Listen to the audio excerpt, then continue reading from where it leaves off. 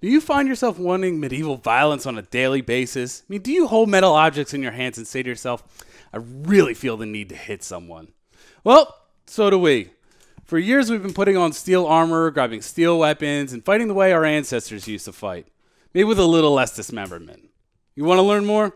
Yeah, I thought you did. My name is Ben Sugarman, and welcome to the brutal world of Buhurt.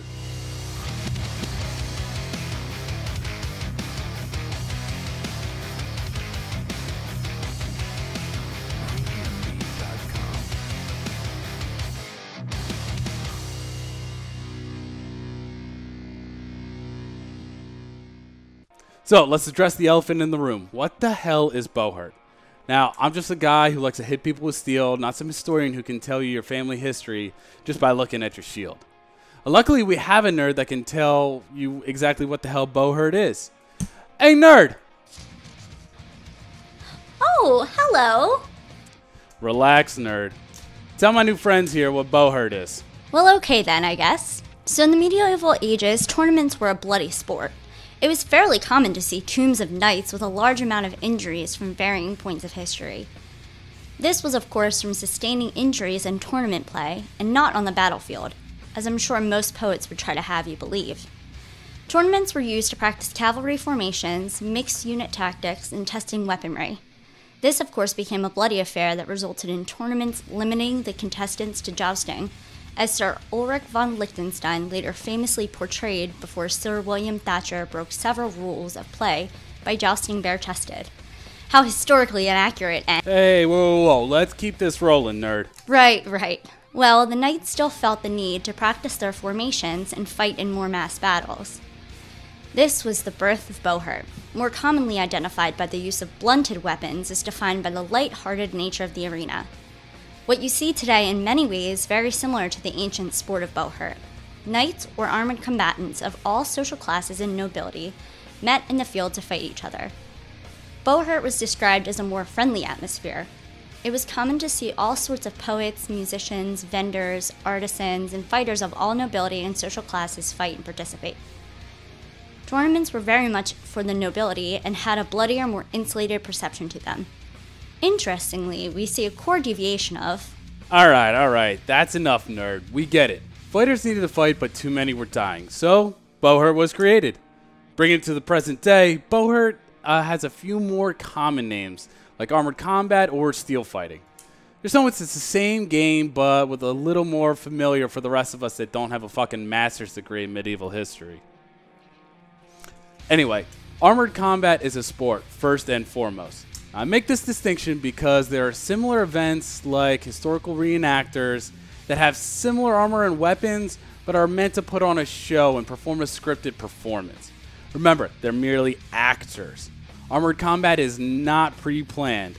There's no choreographer, there's no stuntman on standby, and on top of that, these are not prop axes. They fucking hurt. Now, to follow that idea, there's a basic distinction that I need to be absolutely clear about. This is not a fucking LARP. The term live action role playing is for people who assume a character whenever they armor up. We do not do that. My name is Ben Sugarman right now. When I armor up, I get cracked in the head with an axe, and later when I party with the guy that hit me with that axe. But for tax purposes, I'm Dave Grohl. I mean, go pester him for my taxes. I mean, clearly there's a resemblance there, and those nerds at the IRS, they fall for it every time. Uh, what were we talking about again? Ah, yeah, LARPers. Now, don't get me wrong. I have nothing but love for the LARP community. I mean, hell, I've been hopping a LARP every once in a while, you know, just to diversify my fighting portfolio. Besides, too much in the world has gone to shit, so you don't need some stick jock behind a monitor just to make you feel bad about what you do on your days off. I mean, we just work hard to uh, define ourselves as an international sport. We get a little jumpy when people make the comparison. Although, that may just be the pre workout we just snorted. okay, okay, I'll stop beating a dead horse. Time to actually talk about our sport and not talk shit. The two main distinctions in Buhurt are mostly by how many people are fighting. Our two main pillars of armored combat are duels and melees. Now, duels are a one on one fight, while melee is more team on team. There's a lot to cover in this video, and we're going to be painting with some broad strokes. So don't worry if you still have questions and shut the fuck up to my pedantic comment section, ready to catch every short explanation with a thousand and one different circumstantial rules and league preferences. I mean, I'm getting my new friends caught up to speed. You can poison their mind with specifics later. This one does not comply with your request. Organic mines are of soft materials, optimal conditions to alter to correct forms. Wait, who the hell are you? This one is not specific. This one is an extension of Authenticity Empire. Correction, Authenticity Committee. And I'm guessing there's no talking you out of being here. Correct. This human learns quick. Committee has determined that you may continue with introductory indoctrination. Anyway, even with only hitting the basics, this is going to be a long one. So, check the description for timestamps if you're in that much of a rush. And for all my lovely people out there who watch this video in its entirety, my YouTube analytics and I thank you. You, the real MVP here. So, like I said, duels and melees. Let's get into it. Now, duels are a one on one fight that is meant to test your skill with a specific weapon. The match type vary by the weapon that you're using. For example, there's sword and shield, there's longsword, there's polearm, sword and buckler. I mean, that's just naming a few. And no matter what the rule set is, the rules are fairly similar. Duels are scored by landing strikes on your opponent, anywhere from ankle to head. The fighter who lands the most strikes wins the round. Win two rounds, and you win the fight. Keep in mind that if you land the same amount of blows or the judges can't determine a clear winner, the round is a draw and you keep fighting. Rounds are one minute each with one minute rest in between rounds. Pretty simple, right?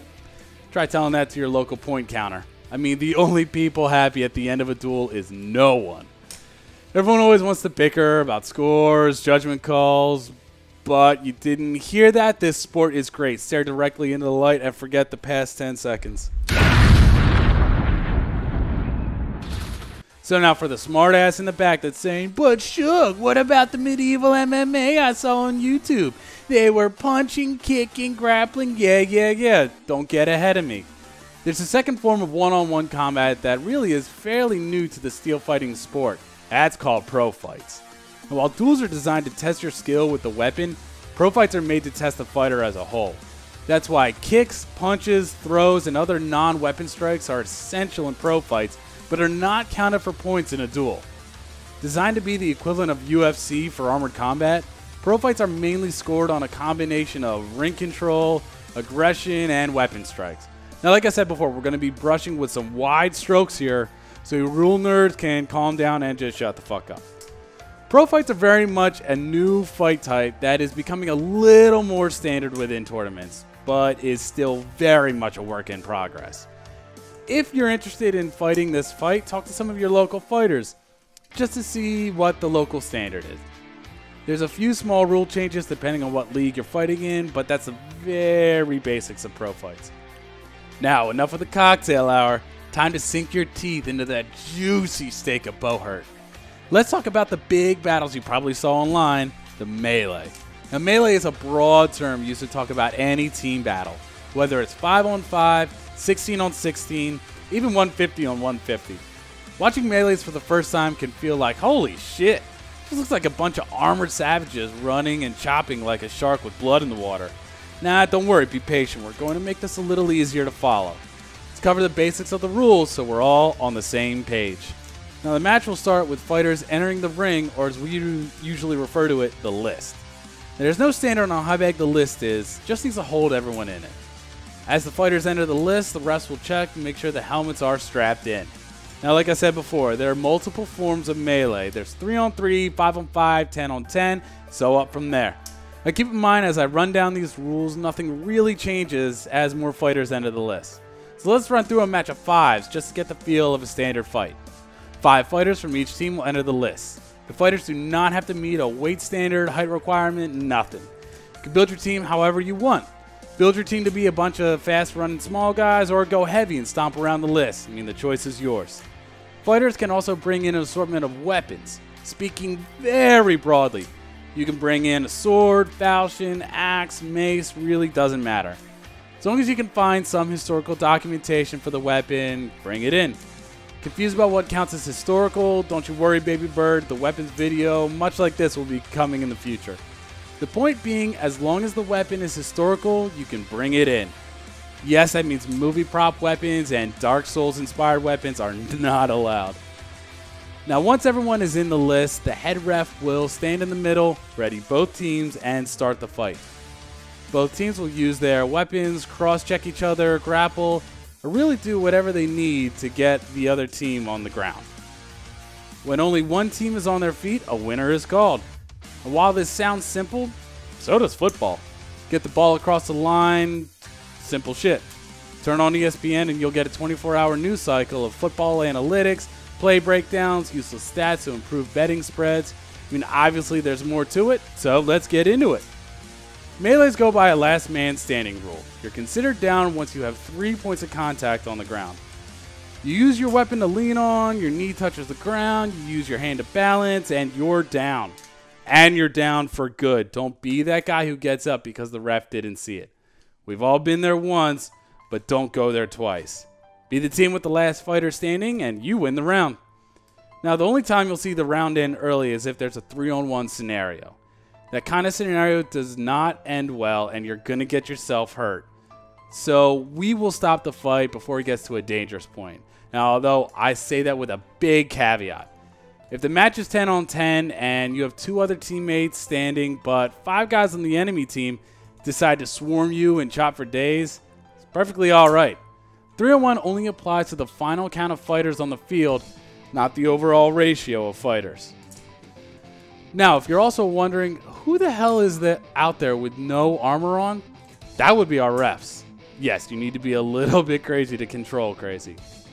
Now, keep in mind that the primary concern of the refs is the fighter's safety. They're not implicitly out there to sit a bunch of fighters because of technicalities, but they will stop something if they see something unsafe. Take that into consideration anytime a ref stops the, stops the fight or has to make a judgment call. I mean, you instantly lose all brain cells once you put on a helmet, and th- they are the final say. When a ref stops a fight to hand out punishment, it is in the form of either red cards or yellow cards. The yellow cards are used as a disciplinary warning. If you break a rule in a round and the ref catches you, you may get a yellow card and you're down for the round. Fight a clean fight for the rest of the tournament, and really all is forgiven. Receiving a red card is a little more serious. Generally, this will result in the fighter being kicked out of the tournament with varying levels of punishment depending on your league. Check your rulebook for specifics. So, some common rules to watch out for so you don't get yourself a yellow card or a red card collection. No strikes to the back of the knee. That's a big one, and that's one that really carries no matter where you fight. It's a, spo- it's a spot that's way too difficult to reliably armor and is generally an area that will cause permanent damage. Remember, we're all friends here, so no one actually wants to hurt anyone. Next is hooking someone once you go down. Now, this one may cause someone to put a bounty on you, and it's generally a scumbag thing to do. When you go down, it's your job to disengage and sit up. If you make an effort to bring someone to the ground after you're declared down, the ref will stand up the fighter you took down, and you will most likely get his chopper friend. Probably give him some payback that next round. Also, I don't think this needs to be mentioned, but we want to have future generations play this sport. So let's not chop down the potential population if you get my drift. Don't be a dick, don't hit the dick. Wait, that got censored? Using your vocabulary to describe the genitalia is strictly prohibited. However, using said vocabulary as colorful description is permitted, while at the same time trashy. Okay, great. I'll keep that in mind. You got any other restrictions? Griffin helmets are not allowed. Visors extending past the base of bassinet helmets with graphonic visors violate an authenticity standard and violates the prime directive of authenticity. Destroy the Griffin meatbags. Authenticity Empire will destroy the Griffin army for total meatbag dominance. Well, that probably bought us some time. Let's keep going before they recover and start yelling again. So, what happens if you lose your weapon? Simple. Go get another one.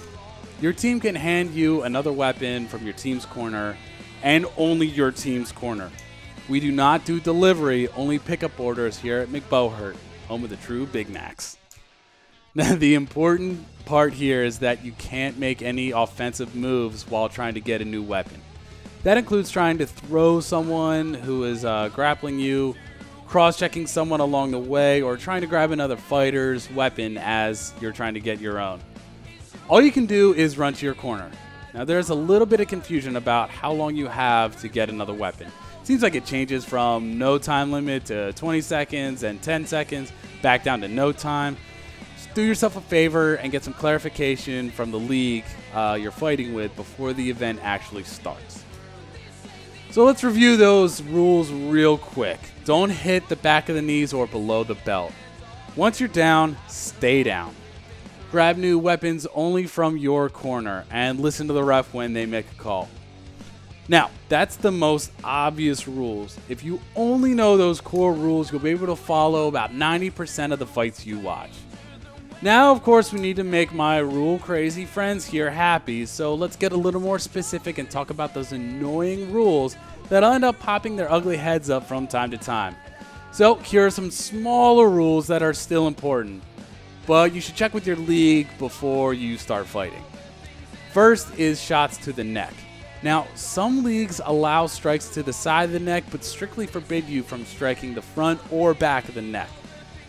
Some outlaw any strikes to the neck entirely. You know, play it safe and double check before swinging. Using the list itself also varies between leagues. I mean, most of Europe and some of the US has a rule that essentially there are no rules when in regards to the list. You can grab it, leave it, marry it, all kosher in our books. The last one may vary from state to state, and I'm looking at you, Alabama. Now, the alternative is a minimal approach to the list. You can rest your arm on top, but you cannot hook yourself to the list. It certainly makes the rounds fly by quicker, it makes it a little more exciting, but you can also be sat down for a dumb reason, and it'll stop the flow of the action, and you'll sit down from a technicality. Now, I know that was a lot to take in. I'm seeing that glazed over look my school teachers yelled at me for. So let's take it back and review this shit from top to bottom. Buhurt, also known as steel fighting or armored combat, is a sport that uses steel armor and steel weapons to engage in non scripted full force combat. The weapons are blunted, the armor is actual steel. There is no reenactment element to it, these are athletes playing a sport to determine a winner. Now, there are two basic categories of fighting duels and melees, flying solo or bringing your friends. Duels are a one on one fight that are meant to test your skill with a weapon. May that be longsword, polearm, sword and shield, you get the picture. As such, only strikes with the weapon award points. Rounds are one minute with one minute break in between rounds. Win a round by scoring the most points, win two rounds, and you win the match. Pro fights are very similar to duels, but test a fighter's overall skill.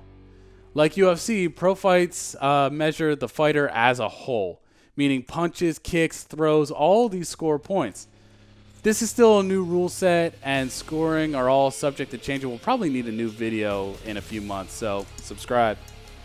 Melees are the team fights of armored combat. Ranges anywhere from 5 on 5 to 150 on 150. Now, fighters fight until someone hits the ground, meaning three points of contact touch the ground. Once you're down, you're down for the round.